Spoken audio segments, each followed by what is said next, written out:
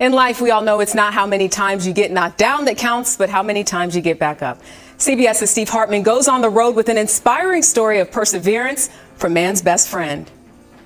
A lot of dogs think they're human, but Dexter takes it to a whole nother level. To the point where I can now safely say, I have seen everything. Dexter lives here in Ouray, Colorado, where for the past few years, this bicolor, bipedal Brittany Spaniel has been turning heads wherever he goes. Dexter's owner, Kentee Pasek, says this isn't a trick she taught. It's an adaptation he made after a near-death experience. Come on. When Dexter was a puppy, he escaped his yard, darted into traffic, and got hit by a car. He lost one front leg and the other was badly damaged. So everyone assumed, to get around, he would need some kind of adaptive equipment. And he did use a wheelchair for a while. Until one day, when Kentee set the pooch at the foot of her porch without the wheelchair.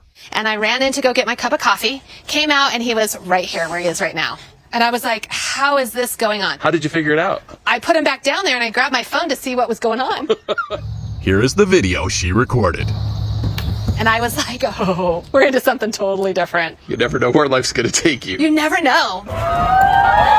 In the six years since, Dexter has become a full blown celebrity, starring in parades and building a legion of social media followers who now come here from across the country just hoping for a glimpse of Ouray's most upstanding citizen. Follow him on Instagram. Oh, good. The whole thing takes absurdity to new heights.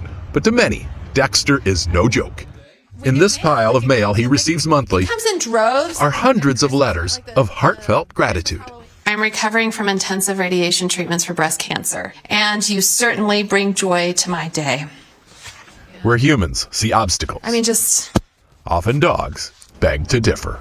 Dexter shows us why aren't you out there writing the book you want to write? Why aren't you out there doing the things you want to do? Because he has. Off he goes. And in doing so has proven that sometimes getting knocked down is the only way to see how tall you stand. Steve Hartman on the road in Ouray, Colorado.